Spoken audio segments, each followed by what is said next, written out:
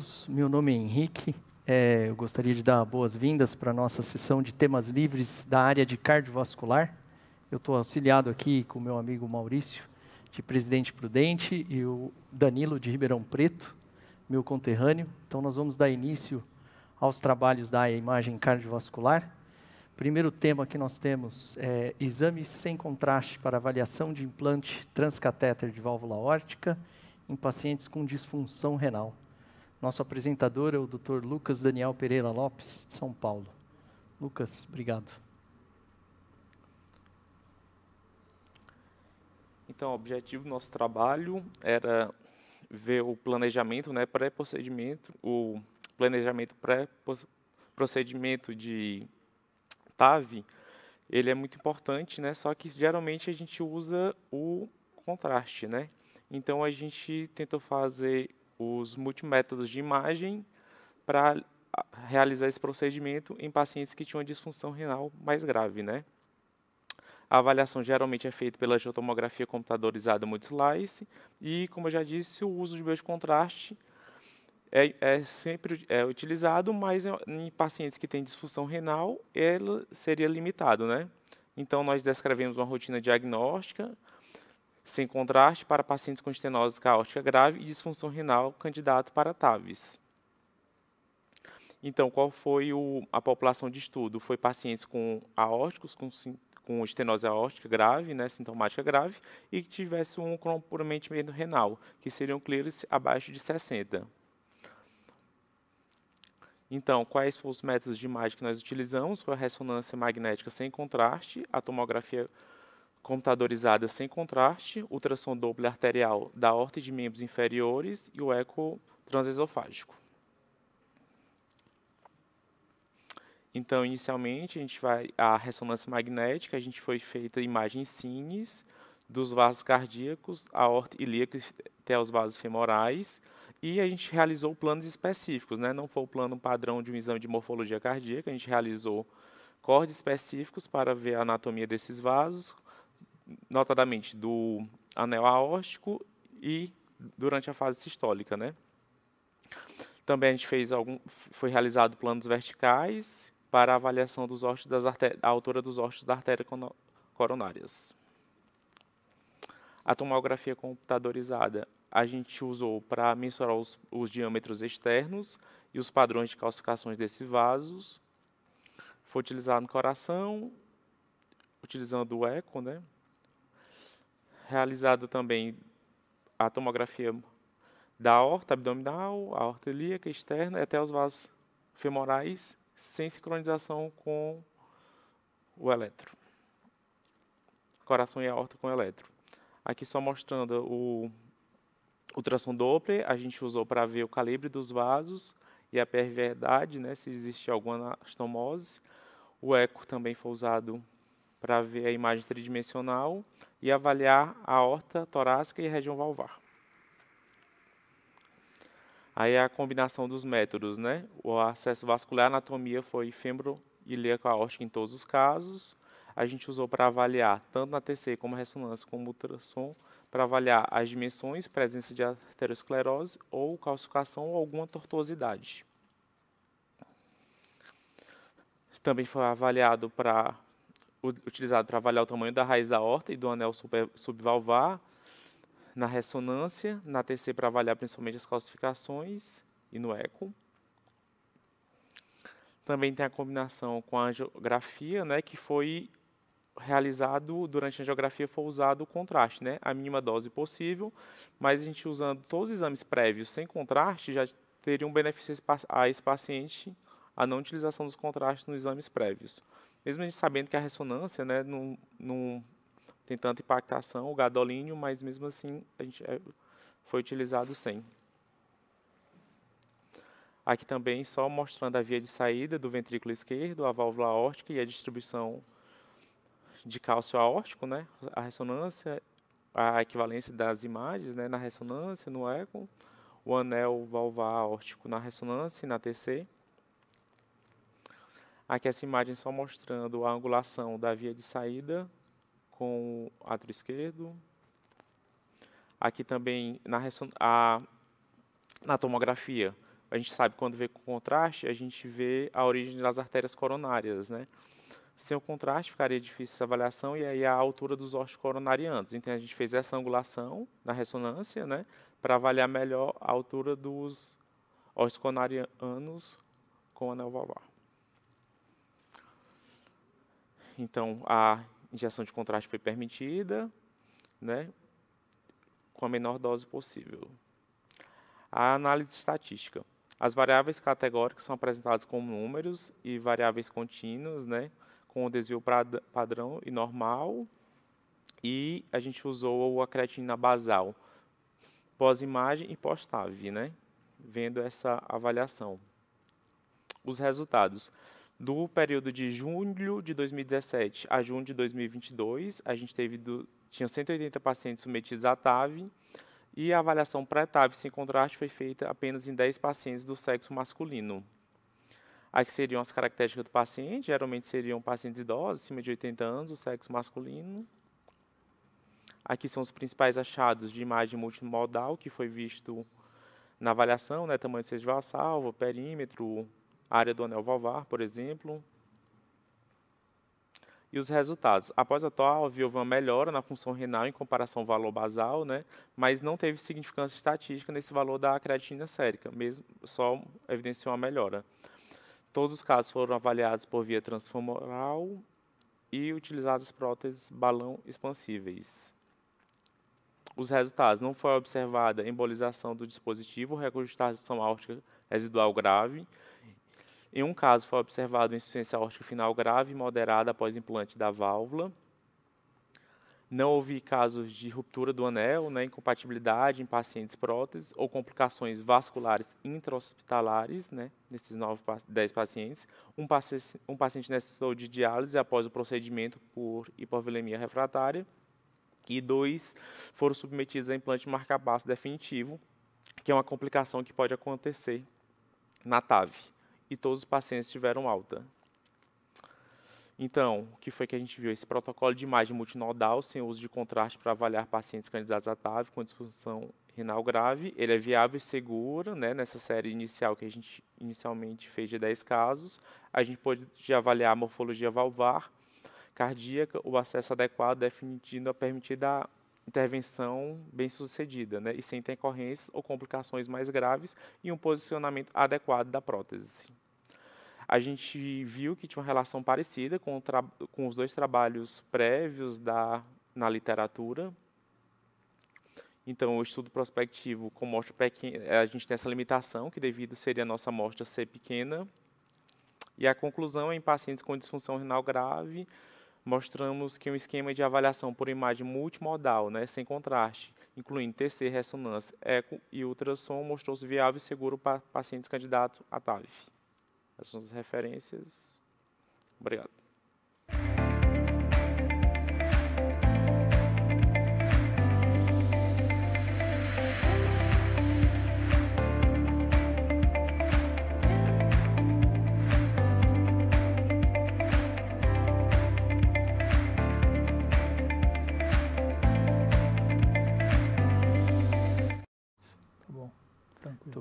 Obrigado, Lucas. Parabéns pelo trabalho.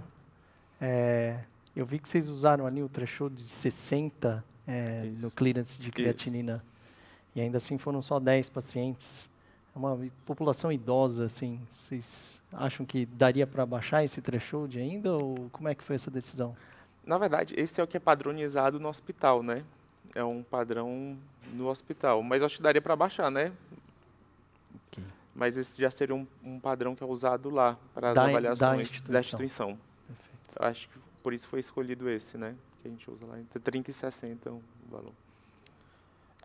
É, o, quando você fez a medida, você fez a medida, por exemplo, do ângulo aórtico, vocês fizeram tanto pela ressonância quanto pela tomo. Isso. Qual medida que vocês usaram para guiar o tamanho da prótese? Que o intervencionista usou? Ah, ele fez uma medida média e ele também, do, quando ele fez a angiografia, ele refaz também a medida. E vocês não chegaram a correlacionar essas medidas para ver se elas... É, Eram similares. Similares? Ah, ok. Não teve tanto desvio padrão. Acho que esse é, um, esse é um resultado interessante de você É. colocar no estudo, assim, com certeza. Isso. É, eu acho que você Era. poderia ter Ah. colocado isso e é um trabalho muito interessante. Eu acho que Bastante. talvez você tenha aí que seguir esses pacientes, né, para ver lá na frente se não tem nenhuma diferença na Complicação. né? na A gente já complicação. está fazendo até outros, né? Porque TAV. Porque assim, como o senhor disse, a população da TAV ela vai ser idosa. Então esse clearance está normal já Ah. fica meio limitado, né? Aí a gente te- acaba que está fazendo alguns sem contraste e está acompanhando, né? Perfeito. Bem, isso aí.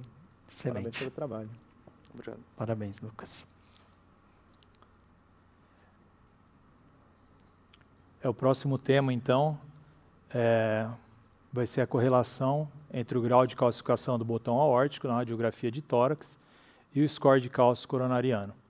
É, a apresentação vai ser da doutora Tayla Souza de Moura Fé, São Paulo. Bom, boa tarde, obrigada pela apresentação. Eu trouxe basicamente os resultados parciais do meu trabalho de conclusão de curso, que foi sobre correlação entre o grau de calcificação do botão aórtico na radiografia de tórax e o score de cálcio coronariano. Essa apresentação não possui conflitos de interesse e esse trabalho possui eh, registro no Comitê de Ética em Pesquisa.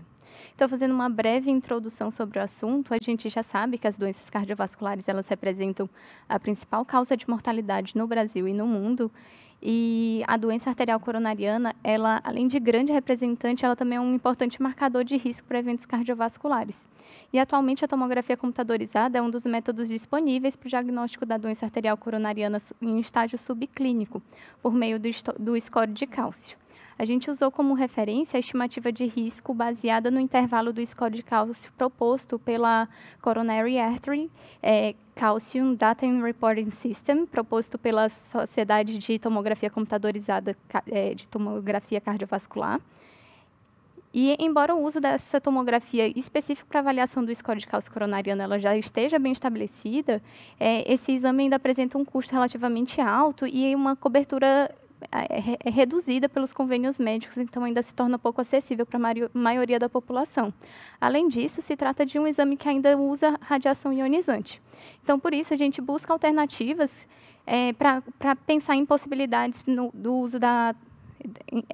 para evitar o uso de novos exames, fazendo uso da tomografia convencional, não sincronizada, é, método que já é respaldado pela diretriz de avaliação visual do score de cálcio pela, de, em tomografia de tórax não sincronizadas e sem contraste, proposto pela Sociedade de, Radio- de Radiologia Torácica dos Estados Unidos.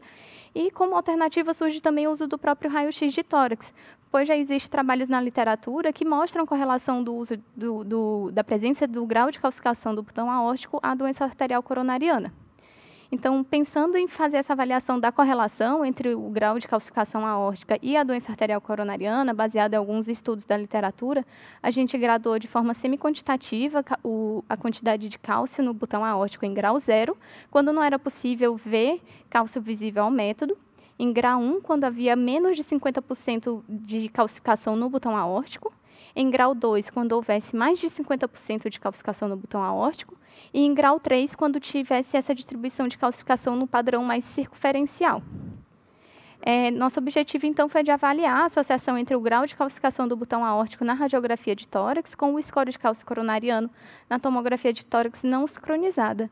Além disso, a gente avaliou como objetivos secundários a concordância entre os métodos na detecção de, de calcificação no botão aórtico, tanto no raio-x quanto na tomografia, e a avaliação da concordância interobservador entre a, a, detecção de cálcio coronariano no botão aórtico pela radiografia de tórax. Em relação à nossa metodologia, foi um estudo retrospectivo envolvendo 119 pacientes, cujos critérios de inclusão foi ter idade maior ou igual a 40 anos e terem realizado tanto a radiografia quanto a tomografia de tórax no ano de 2021, com intervalo de até seis meses entre os exames. As tomografias de tórax foram avaliadas por um pesquisador que quantificou o score de cálcio coronariano segundo o protocolo de Agatston adaptado, e as radiografias de tórax foram avaliadas por dois pesquisadores que graduaram de forma semi-quantitativa a presença de calcificação no botão aórtico, conforme eu expliquei anteriormente. Feito isso, eh, esses dados foram comparados ao score de cálcio com a graduação do- do- da calcificação no botão aórtico. Em relação aos nossos resultados, a gente teve uma correlação entre a presença de calcificação aórtica no raio-x com o score de cálcio tomográfico. No avaliador 1, que era mais experiente, a gente tinha essa correlação de 0,545, e no avaliador 2, que era menos experiente, de 0,404, notando que havia uma maior correlação nas calcificações aórticas graduadas como grau 2 e 3. Além disso, o score de cálcio médio nos pacientes graduados com grau 2 é, no avaliador 1 apresentava um score de cálcio de 1012,2 e, no avalia e nos avaliados pelo avaliador 2 de 950,6. Já o score médio nos pacientes classificados como grau 3 na radiografia, o avaliador 1, a média do score de cálcio desses pacientes era de 1483,9 e do avaliador 2 de 937,75. Aqui, basicamente, para ilustrar esses resultados é, iniciais que eu mostrei para vocês, Além disso, quando a gente compara a presença de calcificação no botão aórtico entre os métodos, considerando a tomografia como padrão ouro, a gente observou, quanto à avaliação do avaliador 1 mais experiente, uma acurácia de 86,6%, uma correlação capa de 0,538, uma sensibilidade de 90,9%, uma especificidade de 65% e um valor preditivo positivo de 92,8%. Já nas avaliações do avaliador 2, que era menos experiente, a gente teve uma acurácia de 57,1, uma correlação capa de 0,175, é, uma sensibilidade de 52,5, uma especificidade de 80 e um valor preditivo positivo bem semelhante de 92,9. Já fazendo a relação de concordância entre os observadores, a gente teve uma relação considerada forte de 0,63. E para ilustrar um pouco os nossos achados, eu trouxe alguns casinhos. O nosso primeiro caso é de uma paciente de sexo feminino, de 74 anos, que na radiografia não apresentava nenhuma calcificação no botão aórtico, então a gente é, classificou ela como um grau zero, o que corroborava na tomografia dessa paciente. E quando a gente avaliava a, o território coronariano, também não havia calcificação no, coronariana. Essa paciente apresentou um score de cálcio zero e, portanto, foi classificada como um CAC-DRS de zero. Nosso segundo caso é de uma paciente feminina de 56 anos que apresentava uma tênue calcificação no botão aórtico, que foi classificada como um grau 1. E na tomografia isso corroborou, tinha uma calcificação bem pequena mesmo. Então a gente é, classificou como um grau. É, apresentava então um score de cálcio de 47,9, classificada como um CAC-DRS de 1.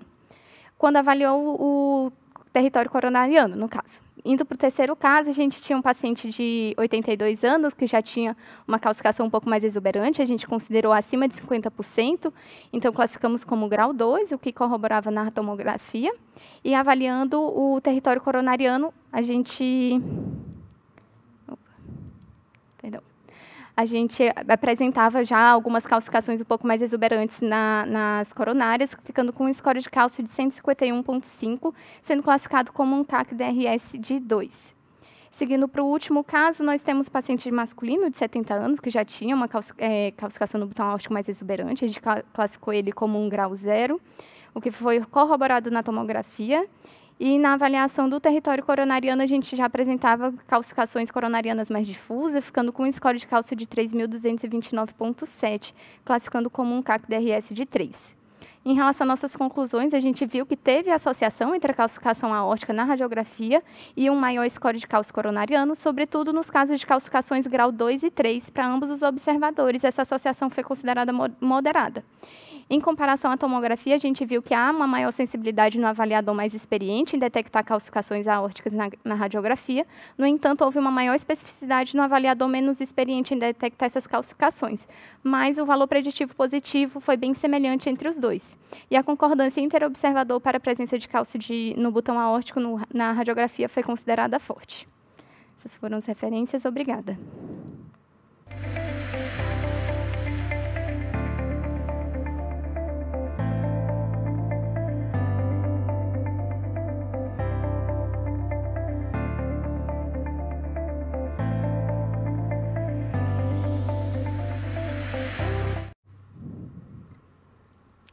Pelo Obrigada. trabalho, doutora. É muito bom. É, eu acho que o recado que fica ali é que a doença arterial é uma coisa meio difusa, né? Então, quando a gente tem a detecção é, de alguma calcificação na, no botão aórtico, isso pode ser um preditor de doença coronariana associada, né?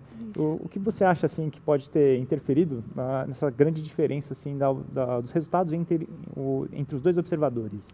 Eu acredito que principalmente a experiência, né? A gente via, é, os dois eram radiologistas cardiotorácicos, sendo o avaliador 2 com um a dois anos de experiência na subespecialidade. Já o, o avaliador já tinha mais de 10 anos de experiência na subespecialidade. Eu acho que o principal foi isso. Uma perguntinha assim simples. Uh, estações de trabalho eram as mesmas estações que utilizaram, monitores diferentes, alguma coisa assim? Eram diferentes, mas na mesma instituição, mas workstations diferentes. Eu tinha uma pergunta no sentido assim, o poder do score de cálcio zero é muito alto. Vocês chegaram a ter casos de aorta zero e score positivo?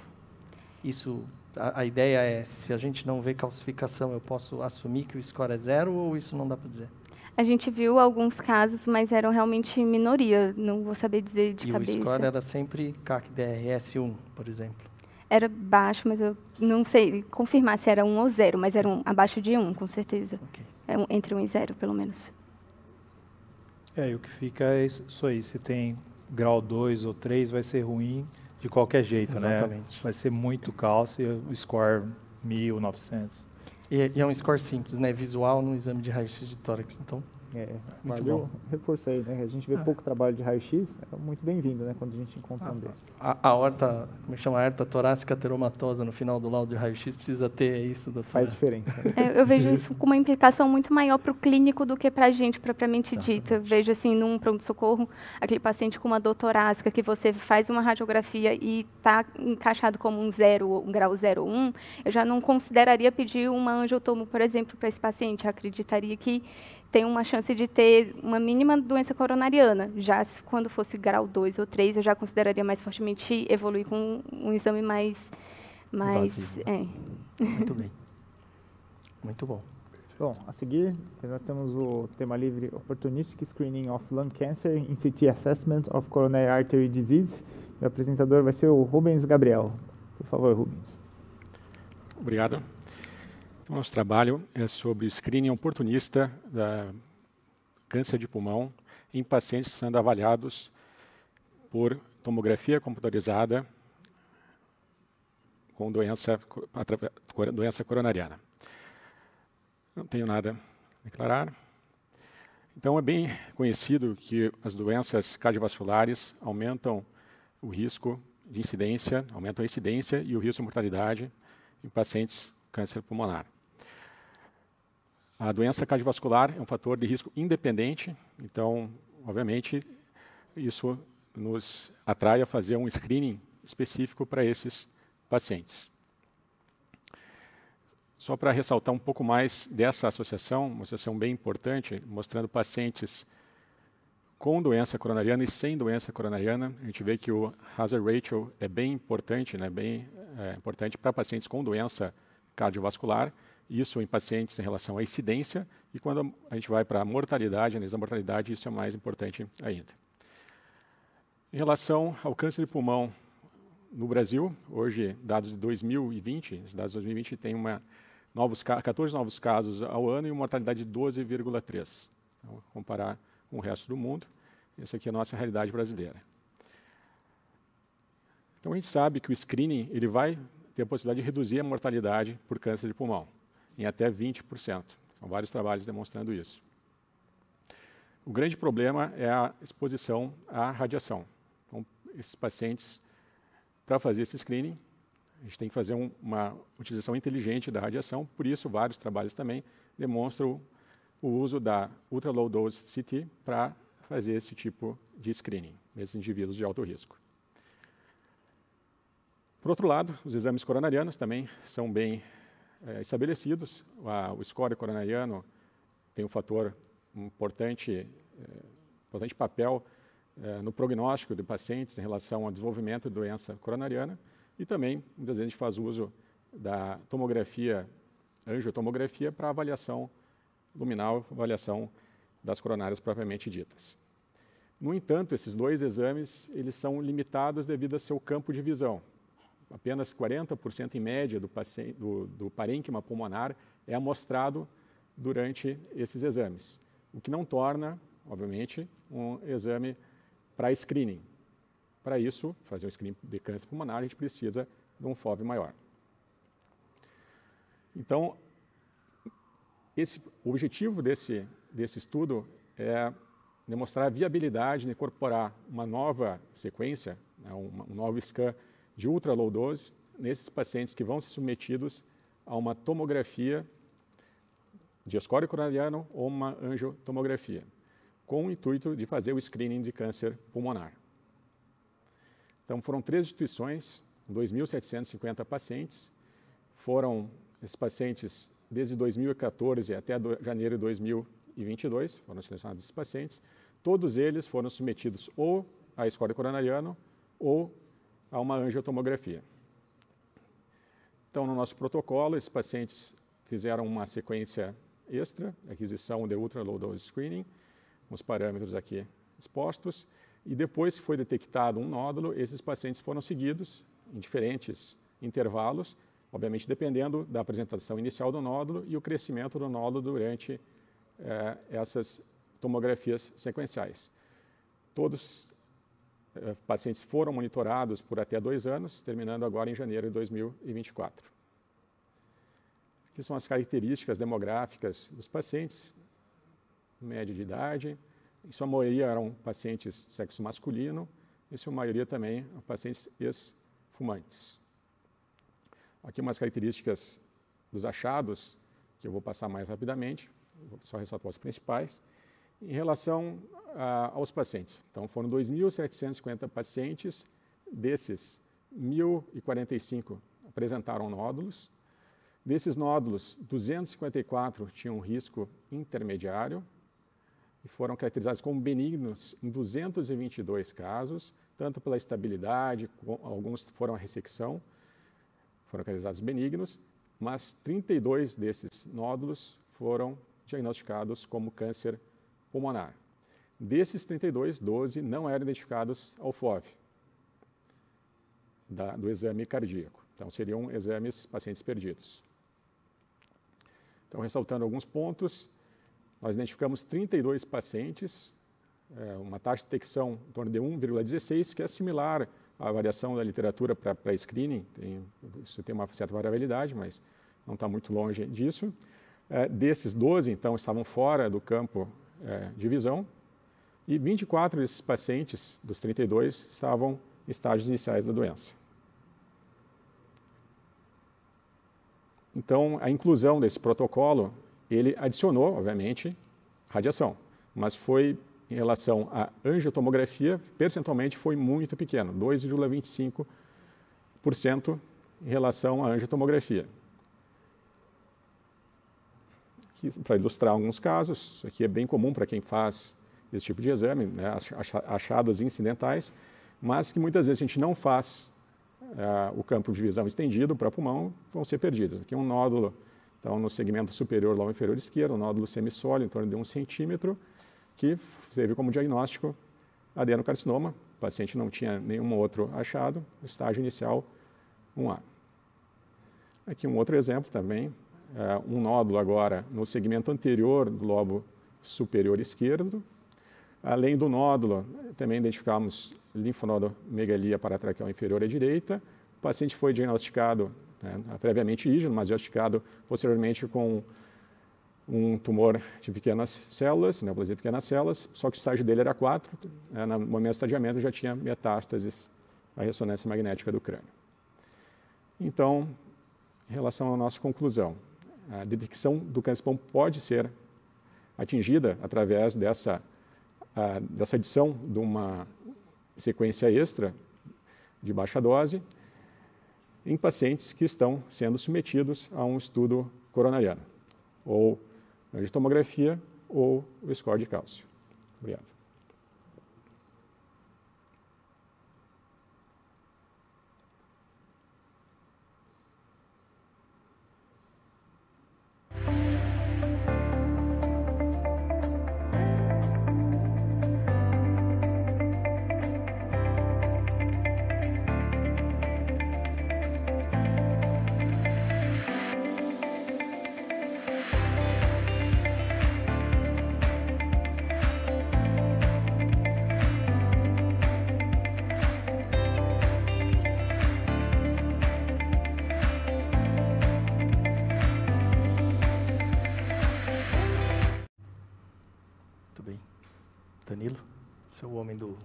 De, de câncer de pulmão. Eu, eu gosto particularmente dessa abordagem, a gente faz a mesma coisa lá no HC de Ribeirão Preto e a nossa taxa, assim, também é muito semelhante à de vocês, em torno de 1% ali da, desse, desse grau de detecção.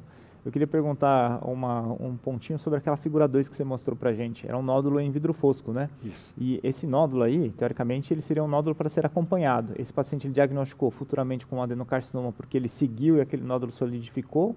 Ou era um estágio muito precoce? Ou ele foi, eh, foi feita uma intervenção naquela, naquele momento?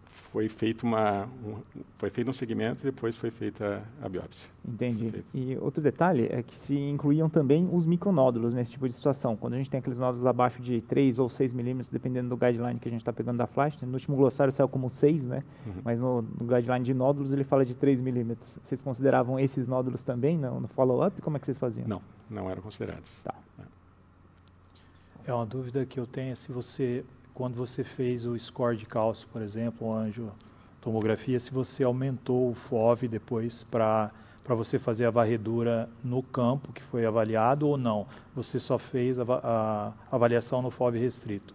Por exemplo, daqueles eh, 12 eh, que você disse que foram perdidos, né? Eles estavam para cima ou eles estavam lateral? Porque às vezes você abre o FOV e você não precisa irradiar o paciente de novo e você consegue detectar. Isso, não, eles estavam fora, mesmo ampliando o FOV, eles não Não seriam é, avaliados, não conseguiriam ser detectados. É, vocês fizeram o inverso do que o lung screening Uhum. fez, né? Uhum. Que é você fazer a, a varredura e detectar a doença coronariana, que a gente sabe que é, no próprio trial eh, matou mais pacientes de doença coronariana, né, de cardiovascular, do que o próprio câncer de pulmão. Parabéns. Perfeito, obrigado. Muito bom.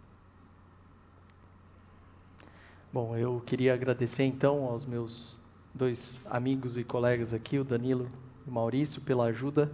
A agradecer a todos os participantes, a nossa audiência e convidar a todos à Jornada Paulista de Radiologia, especialmente o nosso módulo de cardiovascular que começa amanhã cedo. Obrigado.